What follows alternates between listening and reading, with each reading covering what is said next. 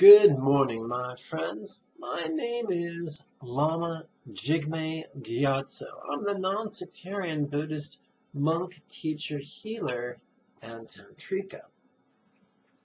One of my students asked me a series of very good questions, and these questions are so good. I feel their, their answers are of universal importance. So I'm going to answer her questions right now in a video, and don't worry, I'm not going to use any proper nouns or won't use anybody's names. These are very important um, questions. Let's get right to it. Ah, the wonders of Facebook. Okay. I, my student writes, Miss S writes, I'm learning from my mistakes. Assholes are unhappy and no one can change it, only themselves. The one who wants to be unhappy is unhappy and I must accept that. In the future, I only want to make those happy who want my happiness and freedom as well. So, there's at least two things we should explore with this first email. Yes, there are some aggressive, cruel, foolish people who are unhappy. Not all the people who are unhappy are cruel and foolish, but, but some are. Um, sometimes people's happiness is an easy fix. Sometimes it's a difficult fix. Um, but it's important to recognize whether or not someone wants our help I met a gal from Arkansas who told me something which I found wonderful. She said, don't try to teach a pig to sing. It wastes your time and annoys the pig. Someone's really unhappy. They don't really want to change. Then find someone who wants your help.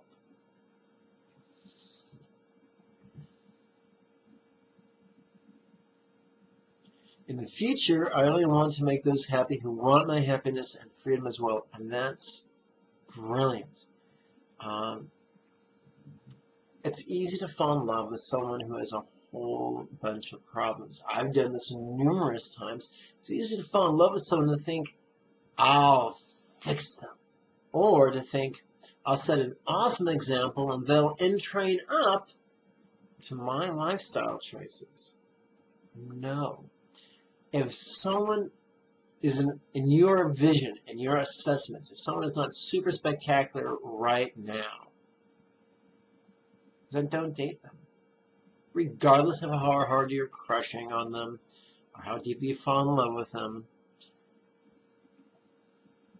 if you know for certain you can't be happy with someone if they don't change, then don't be with them.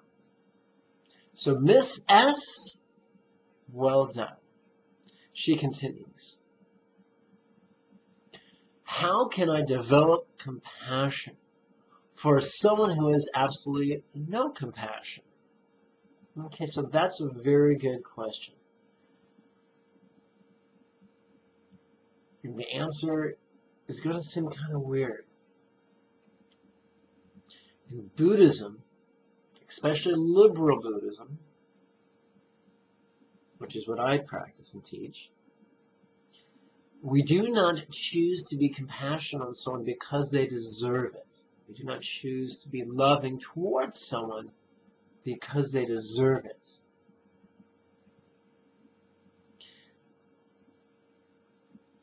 Our compassion is based on needs compa someone requires compassion for one reason only. They're suffering. Someone requires love for one reason only. They need something they don't have. That's it. Then why do we practice compassion? Why do we choose to cultivate the intention to take away other people's sufferings? Because that makes us joyful that purifies our bad karma. It speeds us on the spiritual path. Why do we choose to develop the intention to meet others' needs? Because it makes us happy. It increases our good karma. And it propels us on the spiritual path. Now, there's a difference between cultivating the intention to take away, away someone's suffering, cultivating the intention to meet someone else's needs, and actually rolling up your sleeves and trying to fix someone's life. In the West, we have the idea of the all or nothing approach. That might sound good on paper or perhaps on a bumper sticker, but it doesn't really pan out in reality. What we need to do is help people as much as we can, as much as they will allow us, and as much as our mutual circumstances will allow us. And that might sound like a tall order to figure out, and the answer is, it is a tall order. It requires something we call discerning wisdom. And you're going to make a lot of mistakes on the path. So think of it this way. They're not really failures, they're educational experiences. If you earnestly yearn to progress in the path of wisdom and compassion and love, find a teacher who will work with you, who knows your names, who's actually in your life. If you see some guy teach in a crowded auditorium once every two years, he's not your teacher. You know, lots of people saw Led Zeppelin in concert halls. Didn't mean they were buddies. A teacher's your teacher if he knows your name and if you're in his, he's in your life and you can contact him on, on Skype or email or in a class and ask a question and address your specific, non-generic, precise needs. Find a teacher, receive his, his instructions, apply them. That's how you progress on the path. Let's continue. Dear Lama, oh yeah, I'll continue with uh, letter number two. I think Mr. T, not the celebrity Mr. T, a different Mr. T, I think T is a very poor hell being. I have the strong wish to heal him from his sufferings, I think it's not possible. Good observation.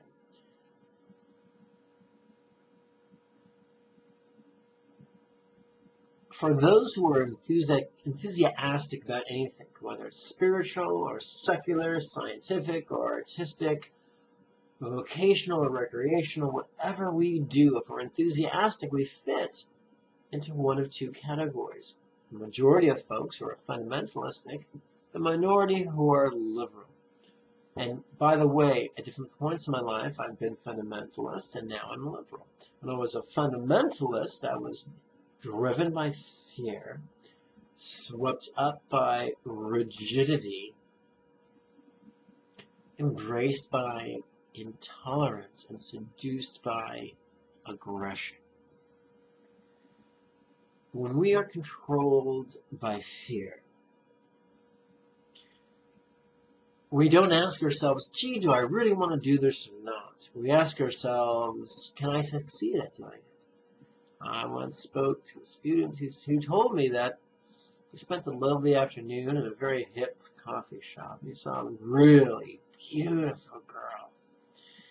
And he was thinking about approaching her, but he wasn't sure how she'd respond. And I expressed to him that it doesn't matter how she responds all he needs to ask is, when he looks at her, is he attracted to her? Does he want to converse with her? Is he interested in getting to know her? If he answers yes to those, then he should initiate.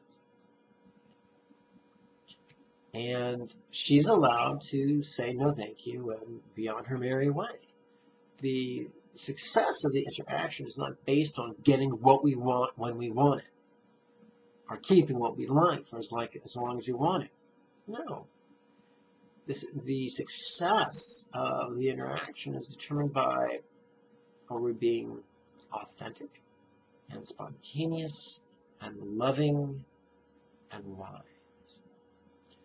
Whether someone, how someone else responds to that does not make us a failure. Now, when we see someone who's all screwed up, we can bless them from afar. And a good teacher, a good Bhante, a good Geshe, you know, a good Khenpo, a good Lama, a good Shifu, a good Roshi will teach you how to do that. How to send someone blessings from afar. And so we don't ask, will it work? Because that comes from the fear paradigm. We rather operate from the spontaneous, authentic paradigm. Do I desire it to work? Now there's a myth out there, and I call it comes from what I call the fortune cookie school of Buddhism. It says, hey, all that I need to know about what Buddha taught can be found on a bumper sticker, perhaps a t-shirt. Nope, no, no. Ain't that cute? But it's wrong. so here's the deal. There's a myth out there from the fortune cookie school of Buddhism that says all desire is bad. No. Slavery does it to desire is bad. Yes.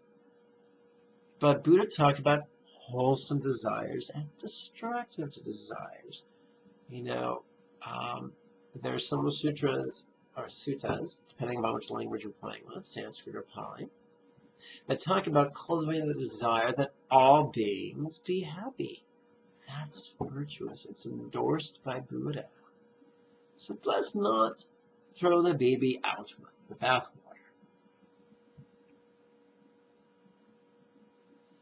So the question is, when we look at some guy who's acting like a bastard, is do we want them to have greater wisdom? We want them to have greater love? And consequently, have greater peace and greater joy. Because peace comes from wisdom and joy comes from love. If the answer is yes, then use the techniques your teacher taught you to bless them from afar. The Christians have a wonderful phrase. Well, some Christians have a wonderful phrase they call it intercessory prayer, or using prayer to intercede on others' behalf. And As Buddhists, we can do that with our blessings. We can bless or meditate on someone else's behalf. Can we meditate someone into nirvana? Probably not. But can we meditate someone into a better place, we know, where they have more wisdom and more love?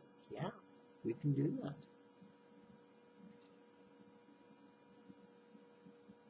Um, let's see, let me read what else she wrote. Final bit.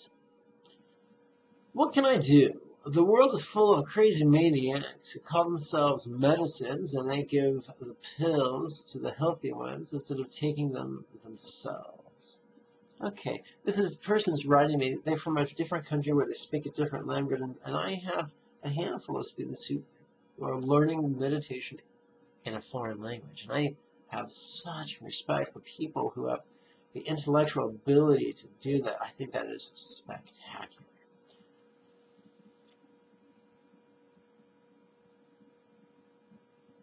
Even Jesus said, do not try to take a mote of dust out of someone's eye when there's an entire tree in your eye. First take the tree out of your eye, then you can take the particle of dust out of someone else's eye. Of course that was a paraphrase, but you get the idea. There's also people out there running around saying, hey, you know what? You know what your problem is? Blah, blah, blah, blah, blah and they're and this becomes very obvious that they they do not suffer from a preponderance of wisdom or love. They're a brick shy of the load in the wisdom and love department. So yeah, there's a bunch of boobs out there. So bless them from afar with wisdom and love. There are crazy maniacs out there, so take away their aggression. Take away their fear. Take away their foolishness. Take away their sadness. You can do that using the techniques that Buddha taught. Um, in Tibet, to use Tibetan terms, you can use techniques such as Tonglen and Dzogchen or Tonglen and Mahamudra. To use Pali terms, we can use um, the techniques found in the Satipatthana and the techniques found in the Metta Sutta. Or to use terminology I'm comfortable with, we can practice the four breaths, we can practice the five loves, we can practice the six R's in such a way that blesses other people. And you don't have to believe in it. Physics works whether you believe in it or not. Physics is a, I'm sorry, interdependence is a self-apparent reality regardless of whether we believe in it uh, or not. If you don't believe something very teeny, like a thought or a wish or an act of meditation, can affect something really big, like a huge problem that's been around for a long time, then spend an evening in the summer naked in a tent with a thirsty mosquito as a companion. Guess what? Whether you're trying to meditate in that tent or you're trying to sleep in that tent, you'll find out that something very teeny and a profound effect on something much larger than itself. Likewise, the techniques of love and wisdom can be applied to make the world a better place. If you don't have a teacher, you're welcome to use my free videos. You're welcome to attend my classes. Entirely welcome. If you have a teacher, make sure you have a personal relationship with him where he knows your name and he's in your life and you can ask him specific questions and all that kind of good stuff.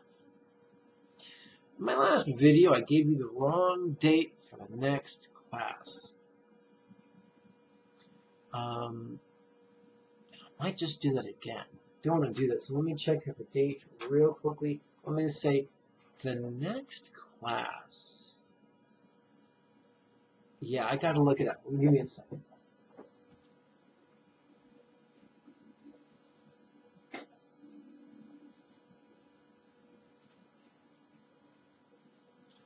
I'm back with my trusty iPhone.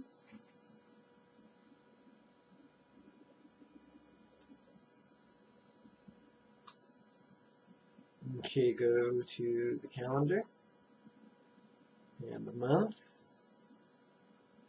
One, two, three, four, five, six. Whoops. Okay.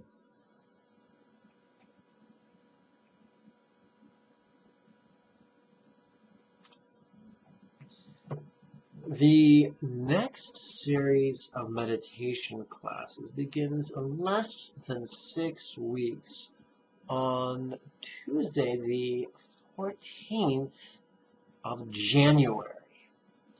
If you live in the greater Los Angeles area, by all means, attend in person. If you don't live next to me, then attend via Skype. And there's only so much in this venue. I can only host so many people on Skype at one time.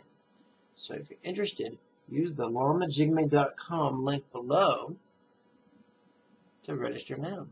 If you have any comments or questions, or you just want to give me a great big cyber hug, contact me on Facebook using the link below. May you and yours be healthy and happy. Om Namo Buddhaya. Bye-bye.